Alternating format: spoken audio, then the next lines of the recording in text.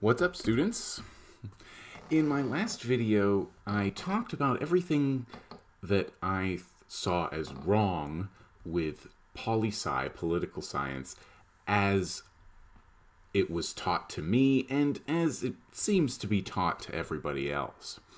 I wanted this week to give you a good reading list, a kind of alternative reading list that you don't usually learn in poli sci, but that is actually still relevant and that we probably should have learned, but that I didn't learn until much later. Uh, there's a few things I want to talk about before uh, I get into the books themselves. Um, so again, if you went into a poli sci class, you would find a very different reading list. That's okay. You know, you could always read those books as well. I just think they don't really cut to the point and cut to the problem itself. They'll maybe give a kind of vague structural overview of certain things in in the political world, but but maybe they don't say um, give you the full picture, as it were. The books that I'm recommending today, I think they're much more important uh, and incisive than the standard fare. Before I start listing topics and books, it's important to know where to find them. Google obviously is uh, is a really useful tool, but you might like to know of specific places where you can find somewhere, and um, probably the best place is a website, which uh, right it has to move around a lot, but right now it's b ok.cc. And I want to say it like that because um, a lot of platforms don't actually let you post it because it's like an illegal website or something like that. I don't even know.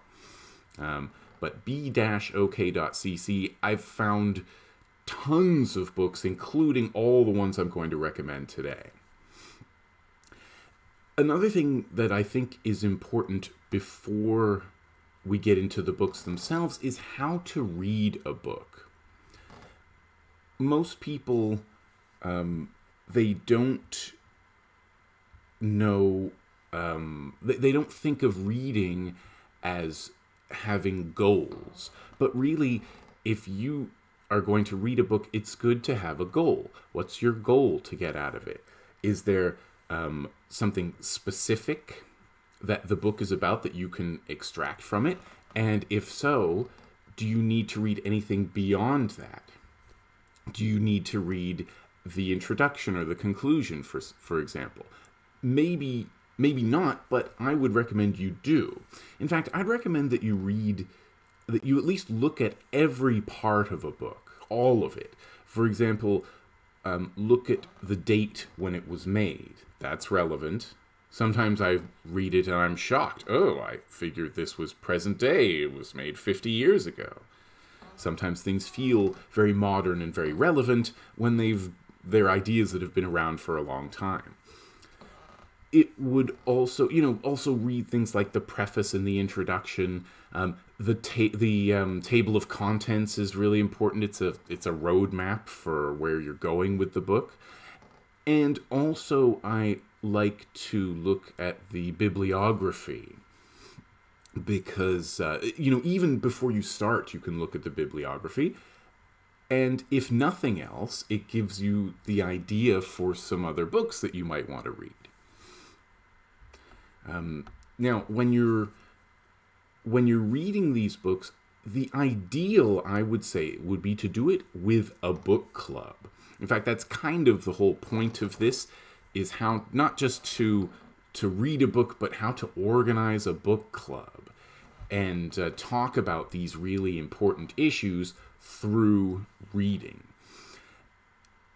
Again, the ideal is to have a facilitator who's already read and analyzed these books, you know, and that that's kind of the point of having a professor, right? So, obviously, if you really want to pay for the education, then you can get a professor to do it. If not, that's okay. There's still plenty of ways of analyzing a text without without having an expert to do it for you or or to do it with you.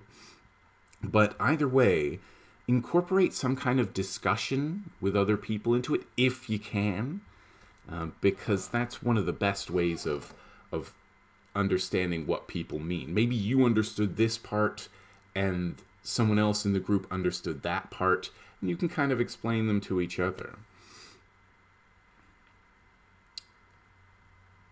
There's uh, there's always going to be some people who are interested in the same books.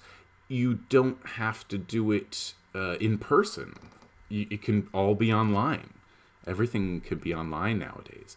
And it would also help you to Google something uh, about one about these books and about the authors before you read them. Learning about the author's life, um, looking at the other titles that they've written. These are good ways of situating the book into a context, and that helps you to remember and it helps you learn.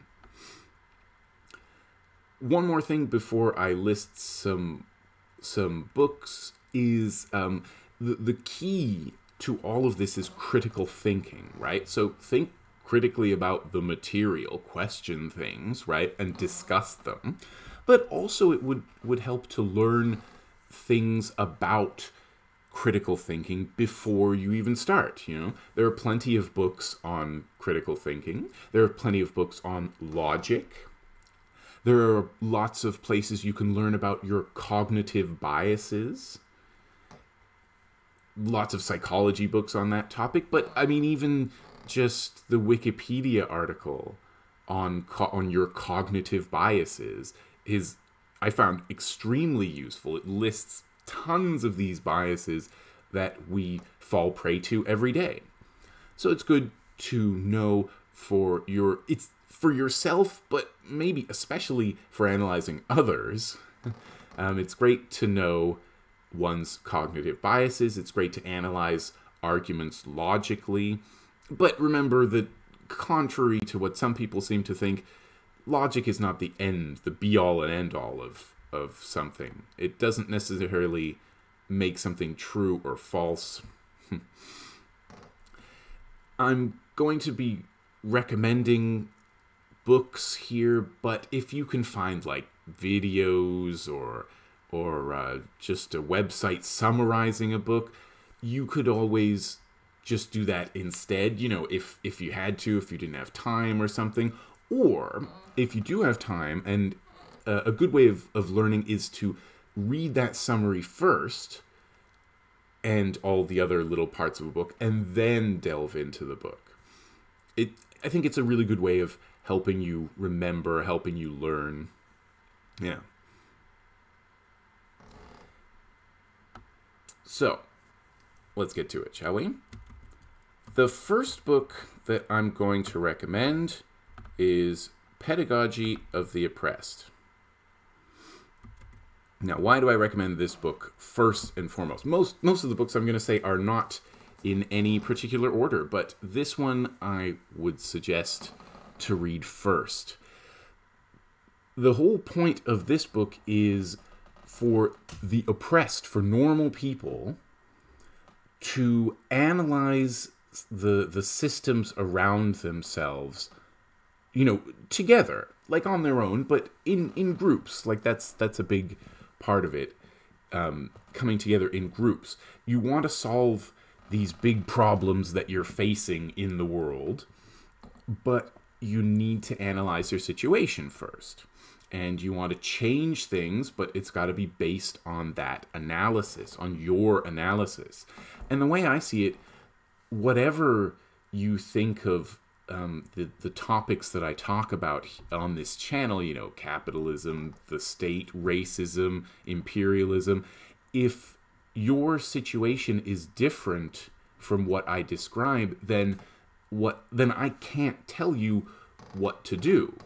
I can't tell you what your problem is or how to solve it. Whereas if you follow the formula in pedagogy of the of the oppressed, you'll well, you'll figure it out for yourself. And that's really the core, I think, of, of my philosophy is that you've got to figure these things out for yourself.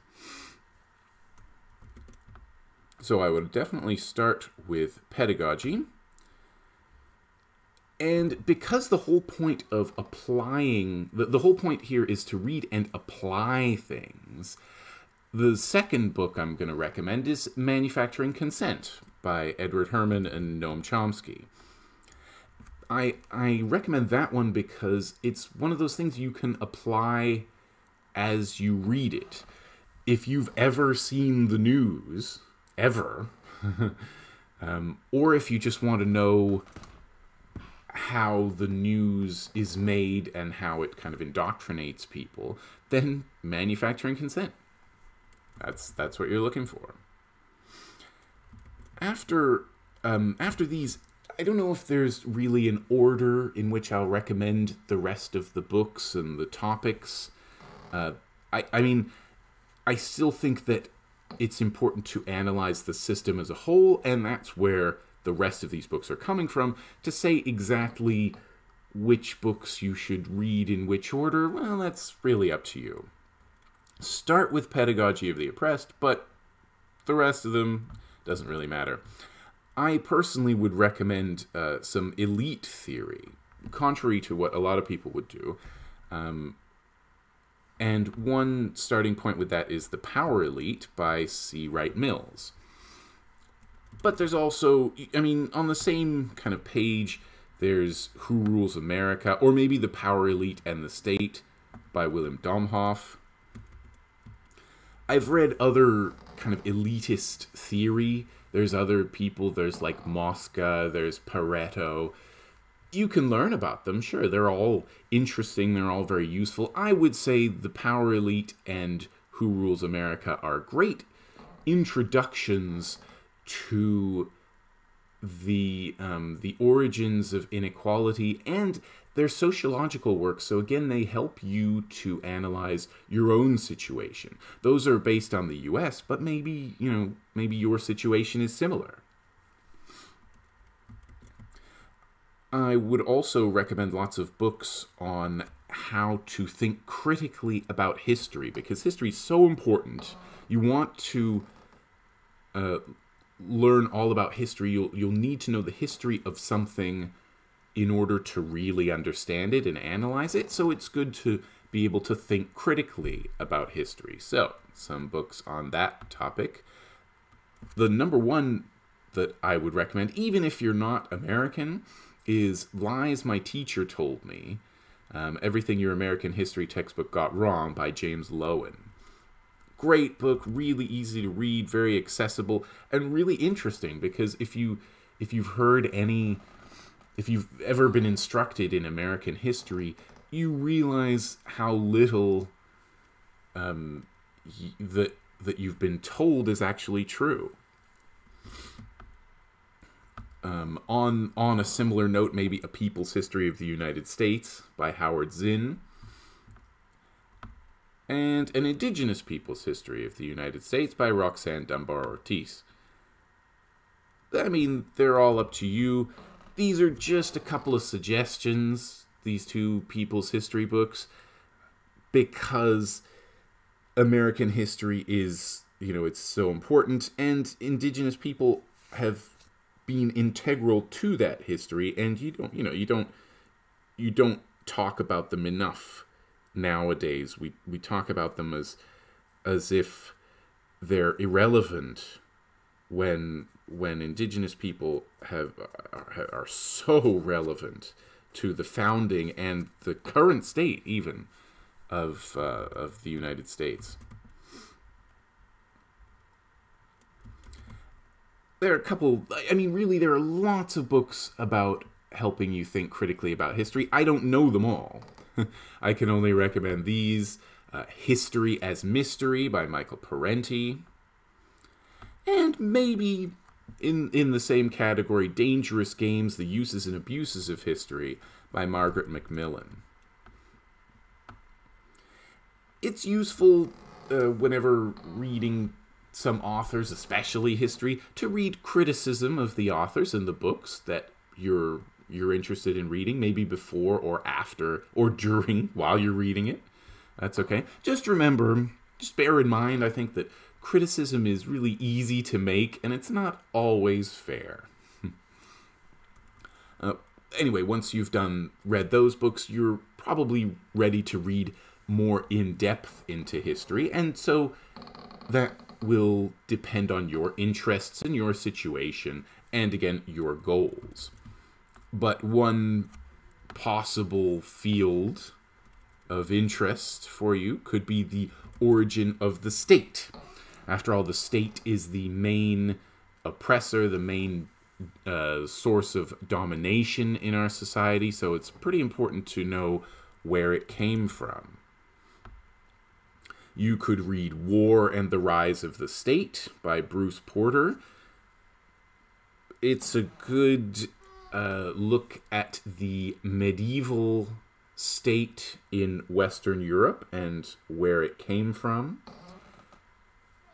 As you can imagine from the title, it's it's basically that um, that various wars, various conquests are what propelled the state into um, in, into modernity. Now we got the modern nation state. Well, where did it come from? Uh, War and the Rise of the State is a great intro to that. Although, like like a lot of other books, uh, it it's a little bit dry. You might not want to read all the details. I could certainly understand that. Um, in the same kind of canon of the the rise of the state is the rise and decline of the state by Martin van Creveld, and the rise and decline of the nation state. Uh, both of these books, you know, they sound similar. They're they're quite a bit different, but um, they certainly give a lot of interesting historical perspective on uh, this uh, on this topic. And finally, you could read The State by Franz Oppenheimer, which I think cuts to what the state really is more than most of these other books. Sorry, I didn't mean to say finally, because there's one other book on the state. In fact, I might consider this one essential reading, Against the Grain by James C. Scott, because the other books, while they talk about the the state and its origins, this one is the most recent one based on the most recent research. So it's been so it's extremely interesting that way and it's just a bit more reliable, you know, you because again, it talks about what the latest research is. So it's a bit more plausible than the others and it it really blows all the old hypotheses out of the water all all of you know when when people used to say things like uh, the state was was created by people who wanted to you know because people wanted to cooperate it's going to coordinate cooperation and production no no no that is absolutely not where the state came from that's just propaganda. Okay, so let's move on a little bit. That's the origin of the state, very important. But what about the origins of capitalism? That's the dominant economic system and indeed political system that we live under, that most of the world lives under, even. Now, obviously, you could read Capital by Marx, except, you know, a couple of things to note about Capital. First, um, of course, they do teach Marx already in in political science. Not necessarily all of them. I didn't learn Marx in in my classes, but in a lot of uh, in political philosophy classes, modern political philosophy classes, they'll they'll talk about Marx almost definitely because he's he's a very important figure. Um, but the other problem with Capital, of course, is that it's huge and it's very dense. So this is one of the ones those the ones definitely it's good to have a companion for. In fact, pretty sure there are companion readers for Capital. Um, but books that they they should have taught us but didn't. I've always I'm always recommending this book to everybody who's interested in in the history of capitalism, The Invention of Capitalism by Michael Perelman. I really think it's it's an excellent book, and it reveals the um, the violent origins of capitalism as we know it. And in addition to that, it it it teaches a couple of other things because it looks at how capitalism really developed. It looks at the actual history of it, um, particularly in in uh, in Britain.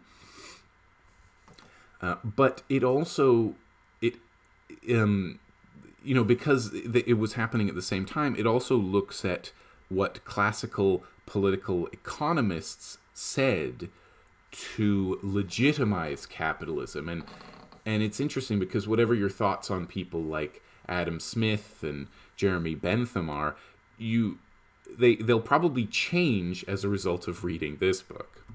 So recommend it highly. There's uh, Capitalism and Slavery by Eric Williams, showing the huge uh, the the huge amount the, the huge amount of wealth that slavery created and how it was integral to uh, developing capitalism into what it is today. And really, there are lots of books on that topic, capitalism and slavery. And in fact, really what we're talking about here is political economy, inter- especially international or global political economy. And it, it's there are tons and tons of books on this this subject because it's such a big subject. You know, it's kind of describing how the entire economy works and how that affects everything. So it's a huge topic. So there are tons of books on it. I'm just giving you um, a few titles on it. And by the way, you can read economics if you like. Um, I, I'm not going to recommend any of that because economics doesn't tell you how the system works like political economy does. Uh, there's also How Europe Underdeveloped Africa by Walter Rodney. Another uh, another big recommendation for how un- understanding how systems work. I mean, it's not just about Africa. After all, underdeveloping Africa means that uh, Europe and and parts of the Americas maybe got uh, you know got wealthy as a result of that. So so it's not just about Africa. Um, and if, again, if we're looking at the whole system, I kind of recommend uh, the Prison Notebooks by Antonio Gramsci. You, uh, one of one of the great uh, important topics in this book is hegemony and how uh, kind of a small group of people can end up establishing dominance not just through military might, but through ideas and what eventually came to be called soft power, and how all those things are, are spread internationally. I found it really interesting from that point of view. So that's political economy, but there's always, again, there's so many titles to add to it. Maybe the works of Immanuel Wallerstein, um, again, a kind of global political economy theorist. David Harvey, he's written a lot on this. Ha-Joon Chang. There, there really are lots of authors. If you get started, the good thing is if you get started and if you, uh, you know, if you Google these people and stuff, for sure you'll find lots more people with more titles and stuff that you'll be interested in reading you can put on your list and it, i mean it goes to show i have like thousands of books on my list that most of which i'm sure i'll never actually get to. The next category of books that i'm going to recommend is books on propaganda. And i mean it it depends on you but sometimes I think propaganda is the number one thing that we should be uh, learning, and, and almost before anything else, because pro- learning about how propaganda works, I think, I think at least, is key to helping you unlearn all the the lies and the the nonsense and the bad ideas that you and I have picked up over the years. And at least, at the very least, being aware of propaganda is important. So um, we saw manufacturing consent, that was important. But there's also Propaganda by Edward Bernays. This is the guy who who kind of invented modern propaganda. You know, re- read about him, Google him. Uh, you'll you'll read all about him. He, he wrote a bunch of books on propaganda, and they're, they're a little bit confusing to me because I because he seems to be telling the truth, you know, but it's weird that he would kind of throw these huge secrets out there to everybody so everybody could find out how they're being screwed, how they're being lied to. But hey, there you go. It's all uh, it's all there for you. One of my favorite books on propaganda is uh, Propaganda by Jacques Ellul. Uh, I found that to be um, integral to my understanding of the topic. Um, and to be a little specific, uh, is War Made Easy. This is a really um, interesting and accessible book, easy to read. And it's really about war propaganda. So it's kind of applying what we hear, what we read about propaganda in those other two books, or however many books you want to read on it, and uh, applying it to to U.S. foreign policy. now we're talking about thinking critically about propaganda and uh, the dominant ideas of society, and I think that will be a good segue into imperialism because imperialism affects well all of us in one way or another. And if you're going to be uh, reading about wars you're eventually going to be reading about the Middle East and the, the so-called Muslim world. Although you know I, I've made videos on that if you want to see why I don't usually use that term. And a good um, a good primer for that would be Orientalism by Edward Said. The thing about Orientalism is that it helps it helps people like me, you know, white you know white people born born in North America, you know, it helps people like me to understand the extent to which um, the the places like the Middle East have been exoticized. How they for hundreds of years now we've been hearing all kinds of nonsense about about those people that just just coincidentally were the targets of imperialism at the time. You know, this book is still just as relevant, I would say, because there's still uh, so much of this Orientalism used to to continue to legitimize wars. So it's great, and it's part of the canon on this topic, on the whole uh, topic of Orientalism and and uh, your, your, skewed perspective as uh, as a person coming from you know Europe or the Americas or something, you'll get this very skewed perspective, this kind of cultural bias, and there's really no reason why that would be, except that we've been lied to. Orientalism is is a great introduction to that uh, to that subject it's it's an introduction to all kind of imperialism and there's there's others uh, that I've mentioned that you can read on this subject, you know, like Capital or the Prison Notebooks, um, How Europe Underdeveloped Africa, An Indigenous People's History of the U.S., and there are tons of books on U.S. foreign policy. And I'm just going to re- recommend a few, but there really are so many that that you should uh, read widely of them. But you know, just to to introduce the topic at least, to skim the surface, let's try uh, Sowing Crisis by Rashid Khalidi, which is a great uh, intro to the Cold War and uh, in, in the Middle East.